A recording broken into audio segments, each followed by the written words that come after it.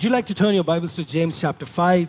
We're going to close the series. We're going to, you know, end the series um, real mature uh, with this Sunday. We've looked at um, five different um, marks of a mature person as James proposes them throughout his book. From chapter 1 to chapter 5, in each chapter, he points out how does a mature Christian look like? You could be a Christian for a long time, but not mature at all.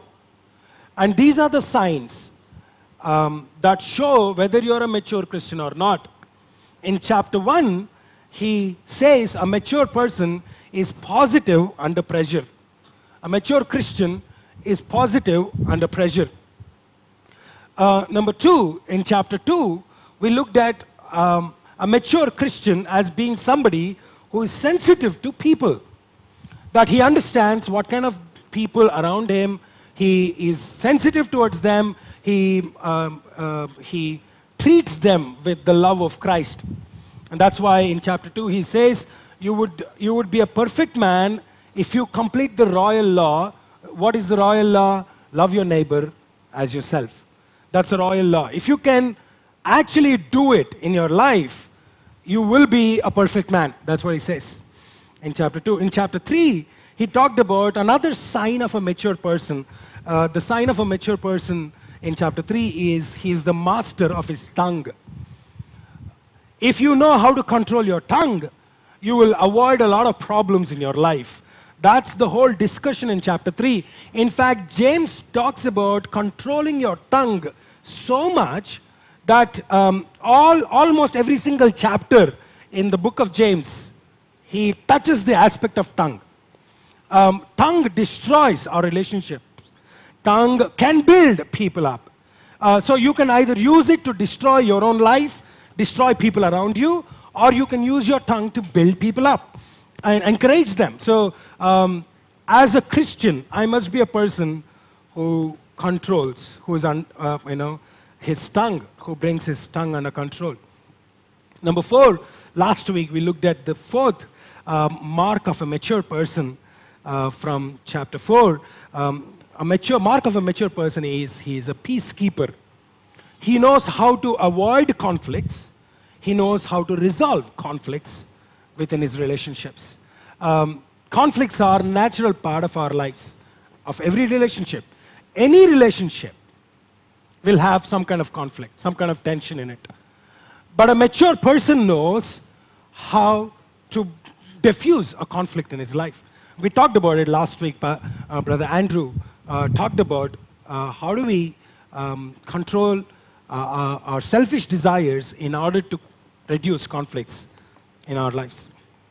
We look at chapter 5 now, and we will look at the fifth mark of a mature person verses uh, 7 onwards. I want to read verses 7 onwards. Chapter 5 is such a huge treasury um, to talk about. Um, there are so many things I could teach you from chapter 5, um, but since we are talking only about the signs of a mature person, I'm just picking up one um, area from chapter 5. Chapter 5, verses 7.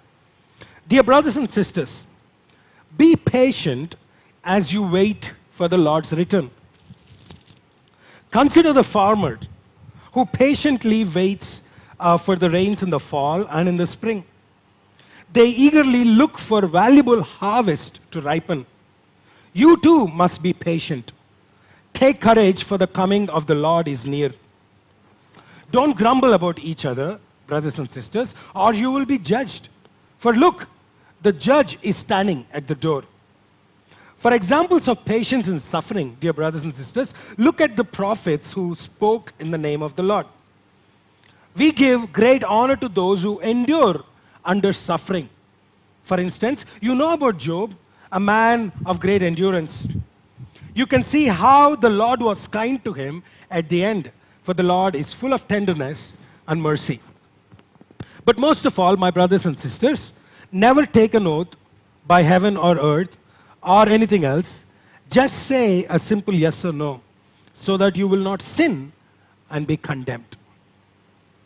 In verses, from verses 7 to 12, James talks about the um, fifth sign of a mature Christian. The fifth sign of a mature Christian, he has enduring patience. He has enduring patience. A lot of us, a, a, a lot of our life, we spend waiting. As a little kid, I waited all my life to get into the school. Then I couldn't wait until I got out from the school and get into the college. Then I couldn't wait to fall in love and then couldn't wait to get married, couldn't wait to have children. Now I wish I had waited. Uh, not, not because of my children, I wish I had taken a little more time. We spend a lot of our life waiting.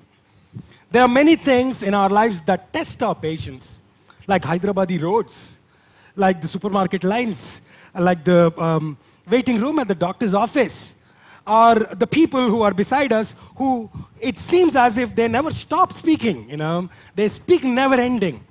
They test our patience a lot. We hate to wait. We, we are the now generation. We want everything to happen now, instantly, immediately. Uh, I, am a very patient man, except when I'm hungry. Um, then I lose my character. Have you noticed the more expensive the restaurant is, the longer you get to wait? You have to wait to get a table. Then you have to wait to get the menu. Then you have to wait uh, to, get, to give the order. And then you have to wait for the food to come back. And then you have to wait even for the bill. And they have the audacity to call the guy, the other guy, the waiter. We are the ones who are actually waiting here. A 19th century preacher uh, by the name of A.B. Simpson says this Beloved, have you ever thought that someday you will not have anything to try you or anyone to vex you again? There will be no opportunity in heaven to learn or to show the spirit of patience. There will never be an opportunity in heaven to show the spirit of forbearance uh, uh, uh, or long suffering. If you, are, if you are to practice these things, it has to be on the earth right now, here, while you're living. You need, we need patience in every area of our lives. In this passage, in James chapter 5, James uses the word patience or perseverance at least six times. And he uses three different illustrations to make his point on, on when we need to be patient, why we need to be patient, how should we be patient. So I'm going to explore those areas today. When do we need to be patient? Why we need to be patient? And how do we need to be patient? Is it okay? All right, if you're taking notes, you, you, if you already have your notes in your hand, start taking. If you don't have a notes, start taking the notes. You still need to take notes. Uh, this is going to help you, and you need it. Real maturity is to develop and exhibit patience. Remember that. Real maturity is to develop and exhibit patience. Number one, when should we be patient? When should I be patient? Using three illustrations, James portrays to us three kind of circumstances when we need to be patient. Now, he's not asking us to be patient uh, all the time. It would be foolish for us if I'm running a 102 temperature for more than two days to continue to wait patiently. That would be foolish for me without, you know, I have to go and get to see the doctor. Uh, if it would be foolish for me that um, if I'm standing in the middle of a road and I see a truck coming at 100 kilometer speed at me uh, and, and wait patiently for it to move the other side would be foolish. That, that, that's not what I'm asking you to do. That's definitely not what James is asking us to do. But at least he tells us three times when we need to be patient. Number one, when our circumstances are uncontrollable, be patient. When our circumstances are uncontrollable, be patient. Have you ever figured out that life is beyond your control? I hope you did. You're smart guys. Life is beyond our control. So James uses farmer as an example of how life is beyond our control. Where circumstances are beyond, beyond our control. In verse 7, he says, Be patient, my brothers and sisters, until the Lord's coming. See how the farmer waits for the land to yield its valuable crop and how patient he is. What is he saying? He's saying if you want to be a farmer, you've got to have a lot of patience. Don't be a farmer if you don't have patience. Part of the job description of a farmer is that he has to do a lot of waiting. He has to wait for the right time to till, wait for the right time to plant, wait for the right, right time to prune, wait. There are a lot of factors in waiting. He has to wait um, uh, uh, for, the, for the rain to come, the weather, the rain, the heat, the economy, the labor, uh, uh the, pri- the market prices, everything after that, after he sows the seed, is beyond his control. There's nothing else he can do. He waits a long time, he works hard, plants the seed, and then he has to wait. Wait uh, for the things, the, circumstances to fall in the right place, which basically are beyond his control. We deal with a lot of uncontrollable factors in our lives, circumstances in our life. Have you noticed um, that even when we realize that our situation right now in our life is beyond our control, we still try to control it? We still try to use our logic and our, our reasoning and try and control it. We, how do we do that? By worrying. By worrying a lot about uh, what's happening in our lives, what's happening around us, and uh, thinking a lot of time. Uh, uh you know, most of our, our nights are spent in thinking uh, and worrying about a situation at your office, worrying about a situation at your home, worrying about a situation uh, in your finan- in, the, in the economy. Um, things that are beyond your control. To worry about something that you can change is dumb. But to worry about something that you can't change is foolish. It's useless. Either you shouldn't worry, or um, you should wait um, for the things to change, circumstances to change. We need to have patience when the things, circumstances are uncontrollable in our lives. That's one area. Number two, the second area where we need to be patient is this that when people are unchangeable, when people are unchangeable. Now, I want you to know this very carefully, and I understand this. Being a pastor for the last 12 years and watching hundreds of people coming and going in the church, people don't like change. It's a fact. Especially if you're a leader, if you're somebody who's heading another team, you know what I'm talking about. People don't like change. We like routine, we like mundane, we like what is predictable, we like what is under control, we like what is comfortable. That's what we are. We naturally don't like change. That's, that's understandable. It is hard for people to accept change and move into a new direction. And it's, uh, it's, it's natural to happen like that. And because of that, it becomes very difficult for people to change their character, their habits, their behavior pattern. So you need to be patient when people are unchangeable. James gives an example of the prophets. First, he uses the farmer. Now, he uses another example through prophets. As an example of patience in the suffering, take prophets who spoke in the name of the Lord. Why did he talk about prophets? You see, the duty of prophets was help people to change, show them the new direction, show them where God wants them to go, or bring them back from their ways, that wayward ways, back into the right, right way to God. To be different in their behavior. And people would resist that. They don't like when a prophet stands up and tells them, You got to change your ways. They get mad at a prophet who asks them to change their lifestyle, who asks them to change their behavior patterns. And that's why they made prophets suffer.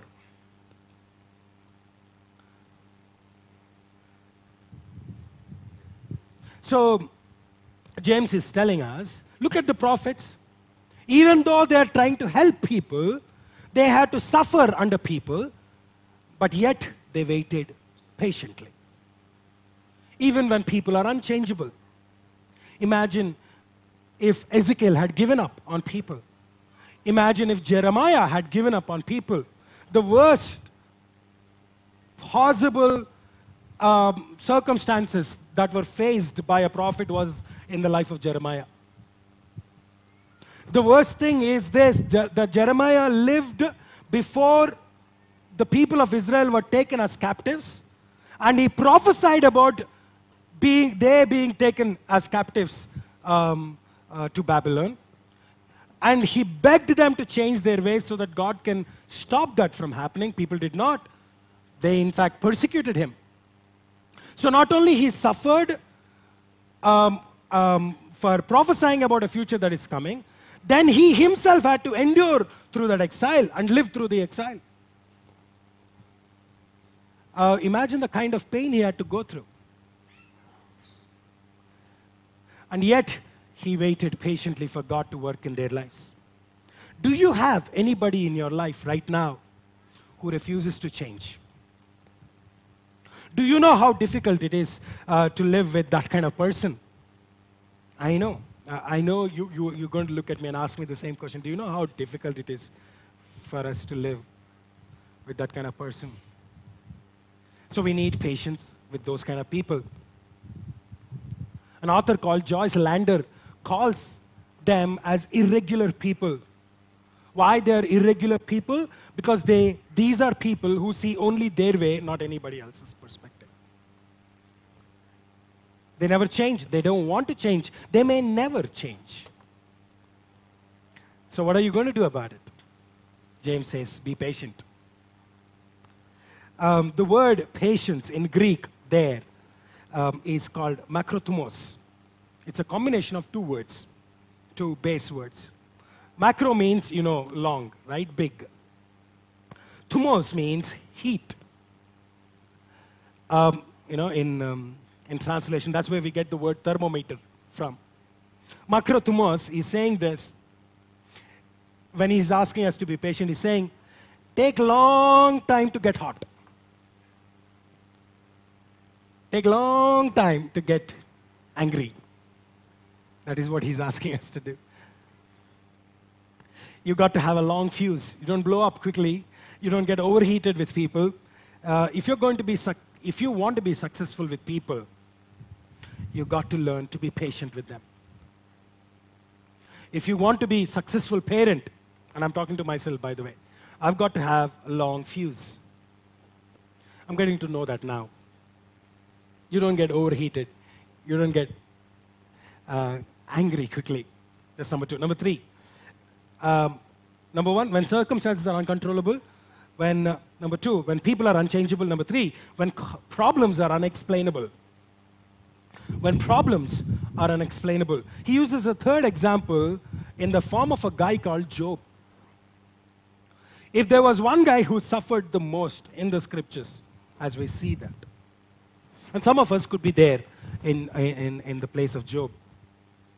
Verses 11, he says, Have you heard of Job's perseverance? If there was a Champions League for suffering, I think Job would have won the championship.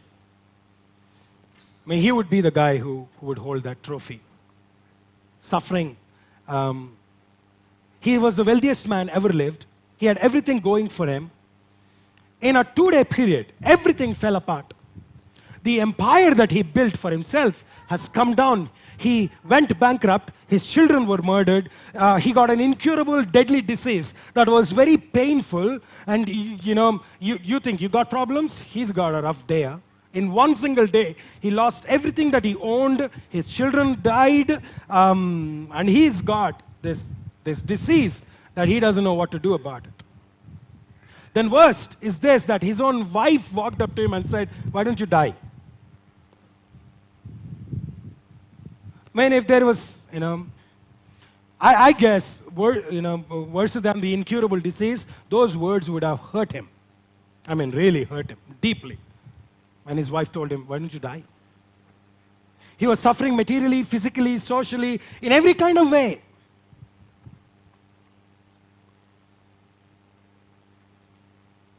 The worst part of Job's suffering is that he has absolutely no idea why he's suffering. In fact, all through the book of Job, he kept asking that question I'm okay to suffer, I need to know why I'm suffering. I'm okay to go through what I'm going through. This pain is unbearable. I will take the pain. No problem. But just tell me why I'm going through the pain. Some of you could be there today. You are okay to take the pain. You're okay to take setbacks. You're okay to take failure. But you don't understand why you're going through what you're going through. No apparent reason. Eh, I mean, of all the people, I guess only Job had the privilege to say, Why me, God? Life is not fair, and this is true. I keep telling this from this pulpit. Life on the earth is not fair. Bible never said, God never said life would be fair on the earth. A lot of things in our life doesn't make sense. You see, maybe we will never understand on this side of eternity till we get into heaven why we are suffering at this point of time. Job didn't understand. But in all of those unexplained problems, there was one thing that Job did, and one thing that we need to learn is this that Job maintained his faith in God. Job maintained his faith in God. I know life is unfair, and I've got un- unexplained problems, but I do know God is good. I do know God is good. And he maintained that. He never lost the sight of a righteous, benevolent God.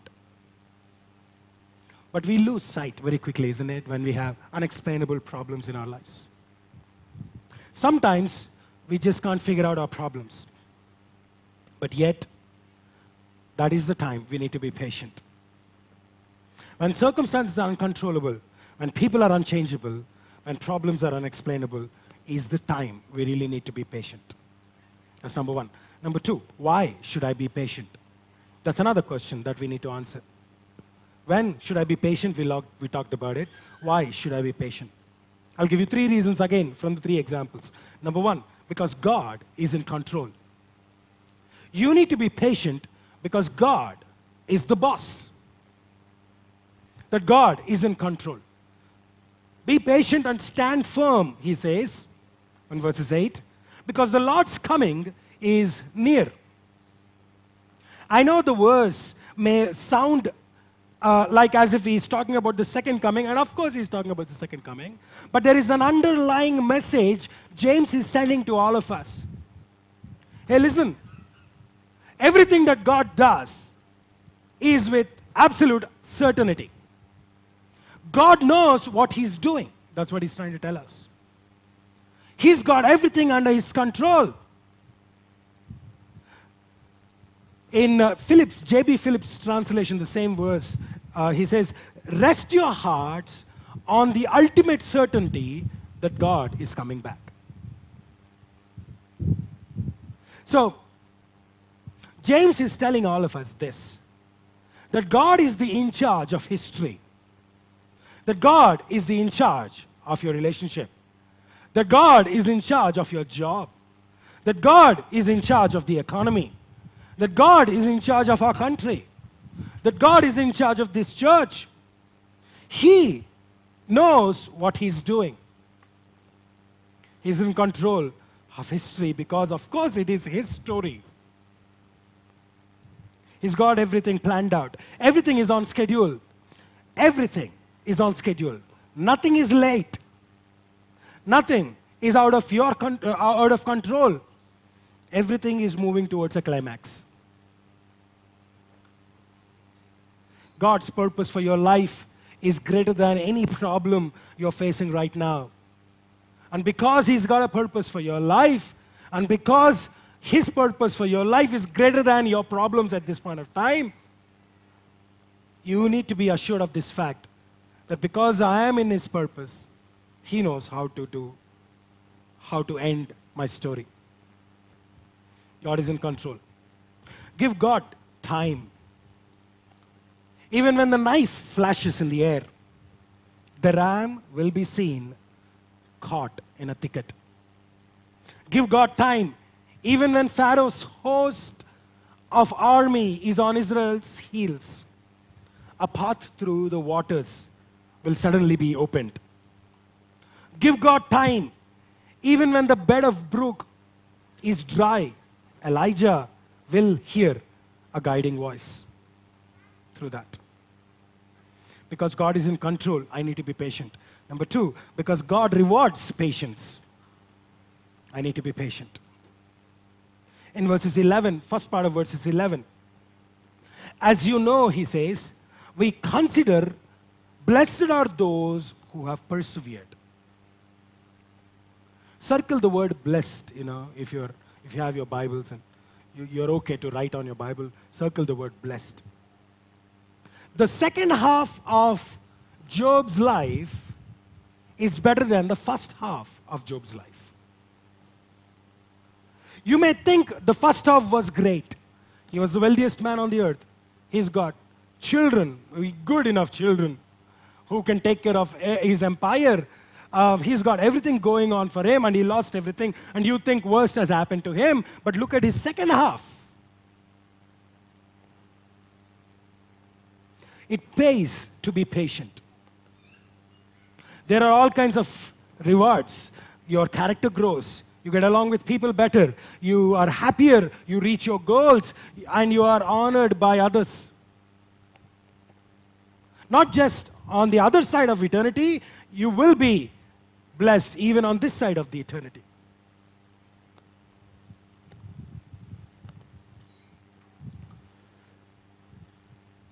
So when people put you down, put you down, when they criticize you, be patient.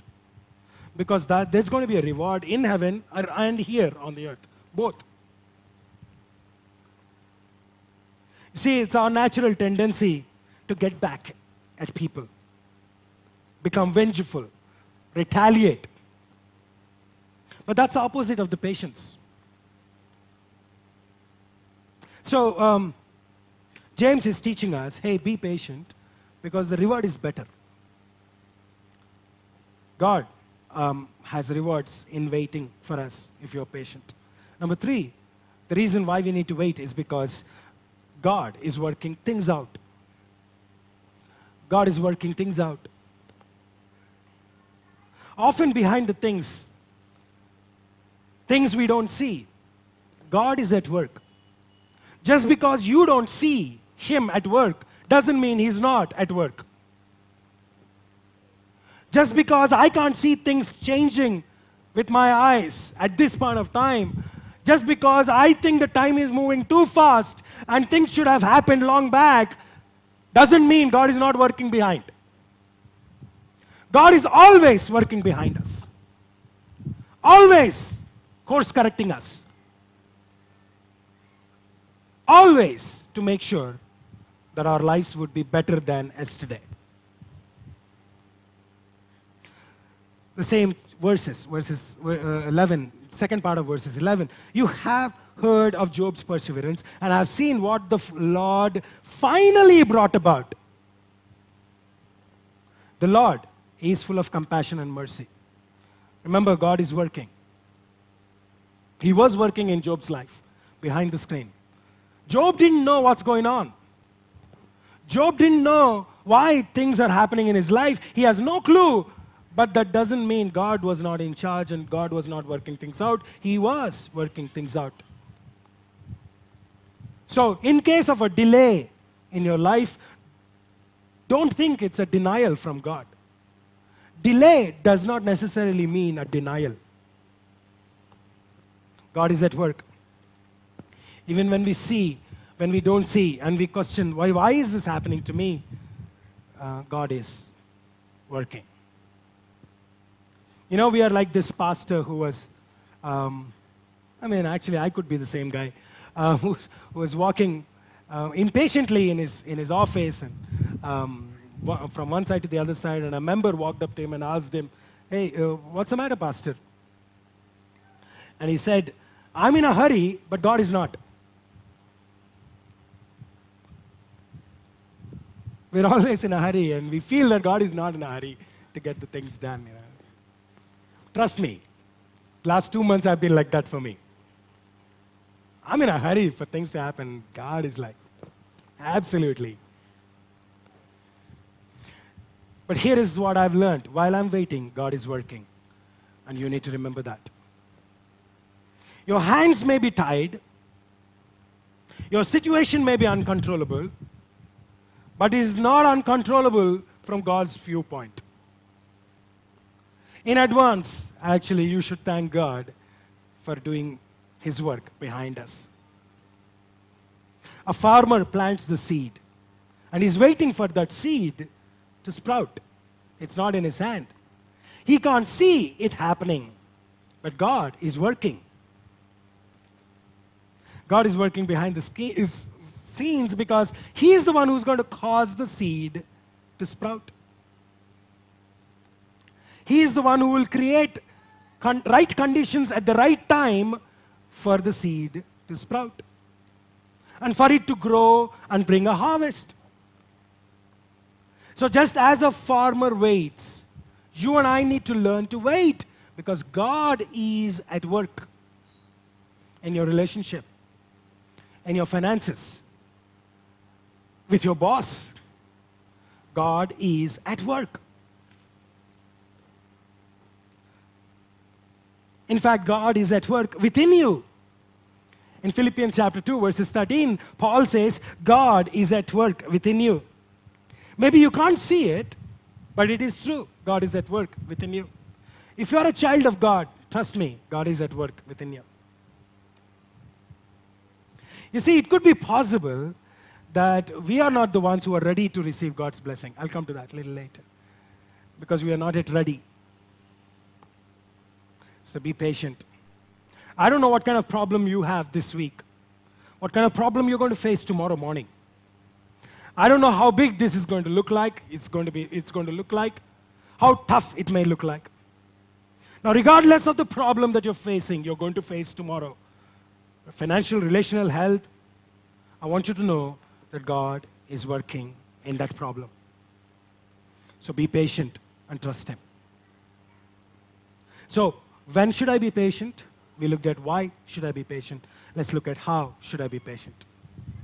From the same three illustrations, let's look at how should I be patient. The word wait is the crucial thing. In order to develop patience, we need to learn to wait. In those three illustrations, he teaches us on how to wait. Number one, wait expectantly. Wait expectantly. As a farmer who's tilling the soil and sowing the seed, you will not be able to do those things unless you expect the seed to sprout and a harvest to come. Just because you don't see rain just because you don't see monsoons change, change in monsoon and weather, um, you don't till the soil and, and, and sow the seed, right? You, you actually go ahead and do it before uh, weather changes, before monsoon comes. You see, it is inevitable to develop patience um, without waiting expectantly. So, what does the farmer do while he's waiting on God? Just sit and sit in his couch and watch the reruns on television or Netflix. He's not going to sit quiet, right? He's going to work because he expects that I need to put in some work before I expect to see a result. While I'm waiting, you're preparing. While you're waiting, you're preparing for the answer to come. That's called waiting expectantly. Waiting is the time for preparation, which shows that you are expecting. We demonstrate our expectation by our preparation. Remember that. We get ready for an answer in advance. Psalm 130, verses 5. The psalmist says, I wait expectantly, trusting God to help for all that He has promised. So the word expectantly means that I am waiting for God. While I'm waiting for God, I'm also getting ready for God to answer my prayer. You see, maybe you, you want God to heal a long term disease. Maybe you want God to transform your marriage. Maybe you want uh, God to reverse your financial situation, financial problems.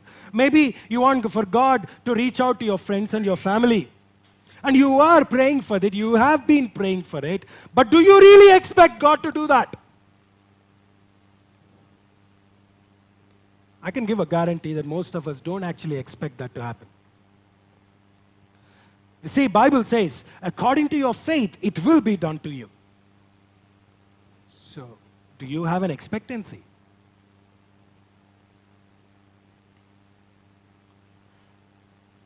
That's number one. Let me just um, uh, give you one more verse and then go to, go to the second point. Isaiah chapter 49, verse 23.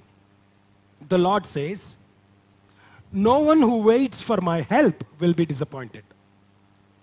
No one who waits for my help will be disappointed.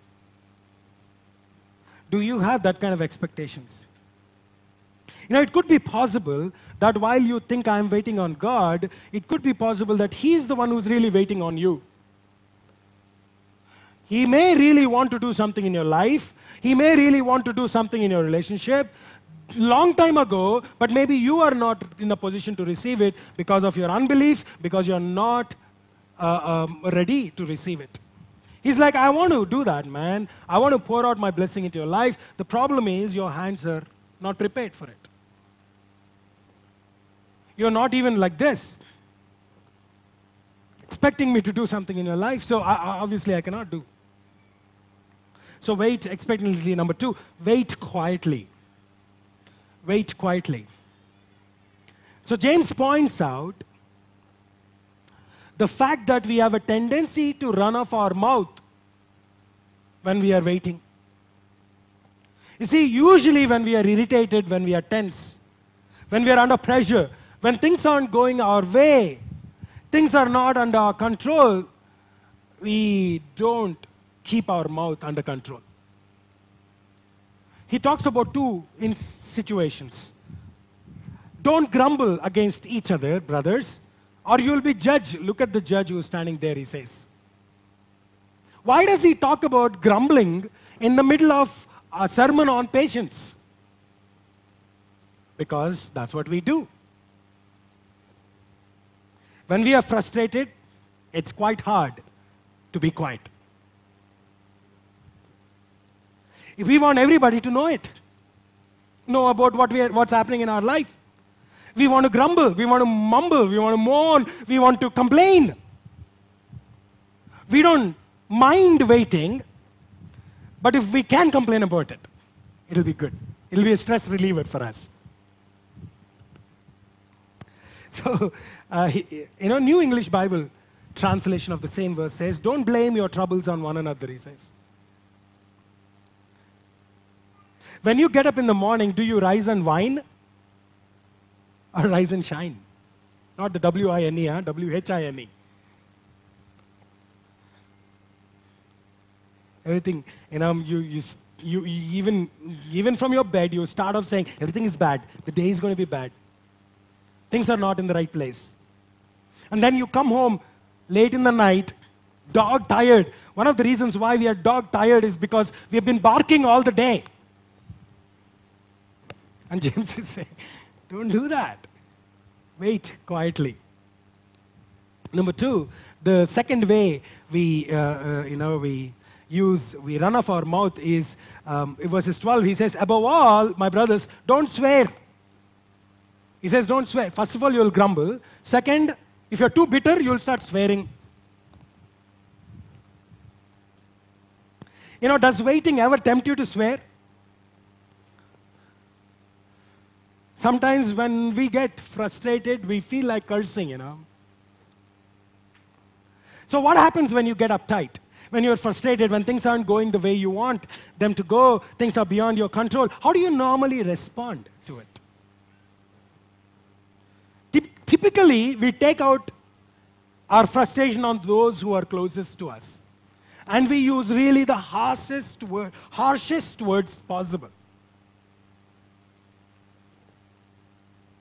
We unload everything on our, our wives, our husbands, our children, and it's not even their fault. You know, when you displace your anger and focus it on those you love the most, you're destroying your own relationships. James says, don't do that. Impatience with God leads to impatience with people. Impatience with God leads to impatience with people. So wait quietly. Let me read one verse and then we'll move to the last one. Habakkuk chapter 2, verses 3. These things won't happen right away. You know, verses 2, verses 1 and 2, he says, I'm going to do this, this, this, but I want you to know this. These things don't happen right away. Slowly, steadily, surely, the time approaches when the vision will be fulfilled. If it seems slow, don't be, do not be despair, for these things will surely come to pass. Just be patient. They will not be overdue by a single day. What God is saying is, I'll get everything done on time. Not a day more, not a day less, but on time. I'll get the job done. You be patient. So, do you have a dream or a goal in life, a vision that God said God's given to you? God is saying it'll be right on target. It is right on target. It'll come, happen at the right time, on the right day, in the right way. Number three, uh, wait confidently. Wait confidently. Wait expectantly. Uh, wait with expectancy. Wait quietly. And wait confidently. Job never lost his confidence in all that is happening in his life, even among all the things that is happening in his life. When the outlook is bad, learn to look up. You'll start learning to have faith. You see, we tend to look around rather than looking up. We may look up for a brief period but then when things don't seem like changing, we immediately start looking all around us for help, for things to change.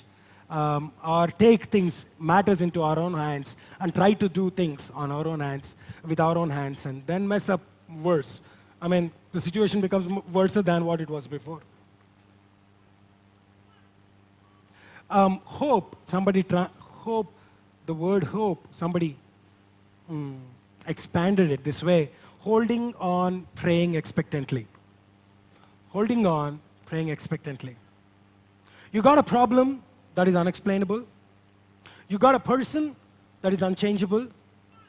You got a circumstance that is uncontrollable. Wait confidently. God is working. Have that faith. Psalm 37, verses 7. Be still before God and wait patiently for Him to act.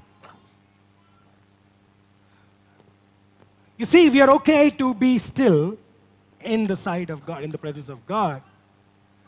But when, when, when it looks like God is not acting, we want to take the action.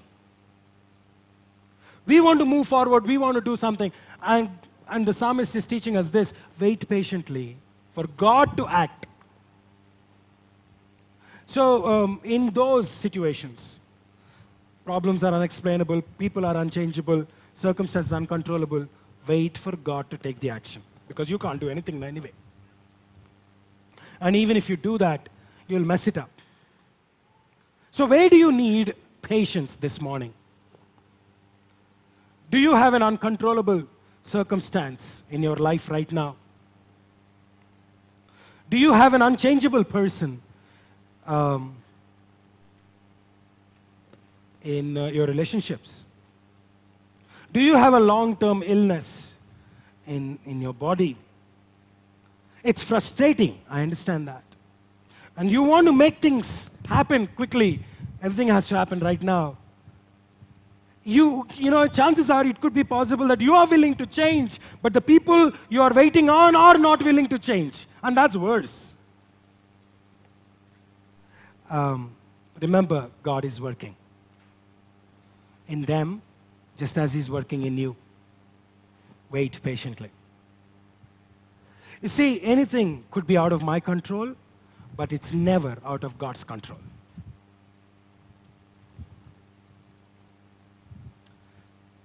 If there is nothing to endure, obviously you cannot learn to be patient. And that's why, in order to teach us to be patient, God allows us to go through things that test our patience. You see, Satan wants us to get impatient with God. He wants us to make impatient Christians. You see, because an impatient Christian is a powerful tool in the hand of Satan. Remember that. An impatient Christian is a powerful tool in the hand of Satan. It could be possible that you're playing right into the hands of Satan by becoming impatient with God. And he will use you, my friend, powerfully to destroy everybody around you, including your own life. Moses' impatience cost him his entrance into Holy Land. Abraham's impatience gave birth to Ishmael. And because of that, the world is at war even today. Peter's impatience almost turned him into a murderer. What did your impatience cost you? Think about it. Learn from uh, James to wait expectantly, to wait quietly, and to wait confidently. If you need the help of God, He's willing to do that. He's willing to give you um, the Spirit of God who would bring forth that fruit of, uh, of the Spirit, which also has uh, patience. Would you close your eyes at this point of time? Um, you see, God is glorified when we are purified through our suffering. And that's only possible if we are willing to wait for God.